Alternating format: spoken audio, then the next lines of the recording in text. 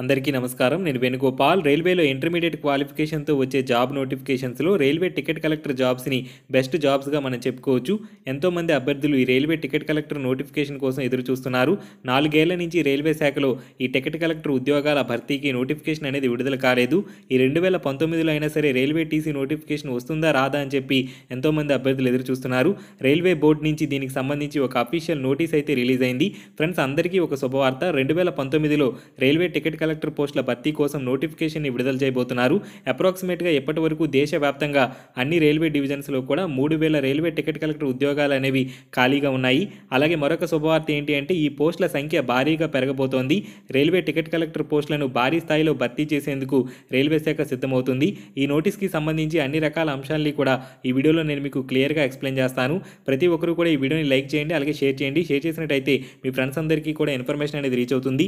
రైల్వేలో ticket collector పోస్టుల భర్తీకి ఎప్పటికే నోటిఫికేషన్ విడుదల కావాల్సి ఉన్నప్పటికీ నోటిఫికేషన్ అయితే రిలీజ్ కాలేదు. రైల్వే శాఖ మంత్రి పీయూష్ గోయల్ కొద్ది నెలల క్రితమే డిసెంబర్ ఎండింగ్లో రైల్వే టీసీ పోస్టుల్ని భర్తీ చేస్తాము అని చెప్పి ఒక ప్రకటన చేశారు. కానీ నోటిఫికేషన్ అయితే రిలీజ్ కాలేదు. ఈ నోటిఫికేషన్ ఆలస్యం అవడానికి కారణాలు ఏంటి అనేవి ఈ నోటీసులు మనకి చాలా క్లియర్గా మెన్షన్ చేశారు.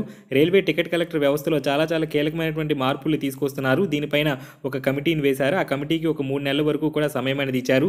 రైల్వే టికెట్ చెకింగ్ స్టాఫ్ కూడా లోకో పైలట్స్ గూడ్స్ గార్డ్స్తో సమానంగా రన్నింగ్ ఎలిమెంట్స్ ఇచ్చే అంశంపైన ఈ కమిటీ అనేది నివేదిక ఇవ్వాల్సి ఉంది.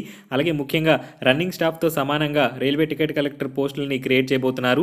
ఏఎస్ఎం గూడ్స్ గార్డు ఈ పోస్టుల భర్తీకి నోటిఫికేషన్స్ ఎప్పుడు రిలీజ్ అయినా సరే భారీ సంఖ్యలో వేకెన్సీస్ అనేవి ఉంటాయి. రైల్వే టీసీ పోస్టులు మాత్రం వాటితో సమానంగా ఉండవు. కొంచెం తక్కువగా రైల్వే టీసీ పోస్టులు అనేవి ఉంటాయి. ఇప్పుడు వాటితో సమానంగా ఈ రైల్వే టికెట్ చెకింగ్ స్టాఫ్ పోస్టులని కూడా భర్తీ చేయబోతున్నారు. కంప్లీట్గా ఈ అంశాలపైన ఈ కమిటీ అనేది రిపోర్ట్ ఇస్తుంది. ఈ కమిటీ రిపోర్ట్ రావడం రావడానికి మూడు నెలల సమయం అనేది పడుతుంది. ఈ నోటీసులో చాలా క్లియర్గా మెన్షన్ చేశారు.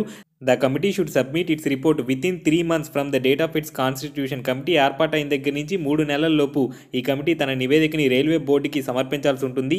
మనకి నవంబర్లో ఈ కమిటీని ఏర్పాటు చేశారు. ఇప్పుడు డిసెంబరు జనవరి ఫిబ్రవరి ఎండింగ్ కల్లా ఈ కమిటీ అనేది తన రిపోర్ట్ని రైల్వే బోర్డుకి సమర్పిస్తుంది. ఆ తర్వాత ఈ రైల్వే టికెట్ కలెక్టర్ ఉద్యోగాల భర్తీకి మార్చి ఎండింగ్లో కానీ ఏప్రిల్ ఫస్ట్ వీక్లో కానీ నోటిఫికేషన్ అయితే విడుదలయ్యే అవకాశాలు ఉన్నాయి.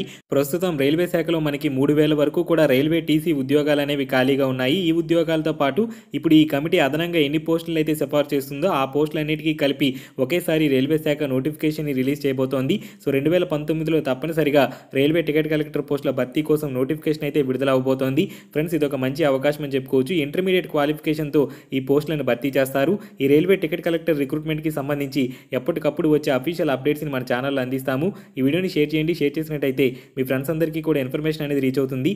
Thank you friends. Have a nice day.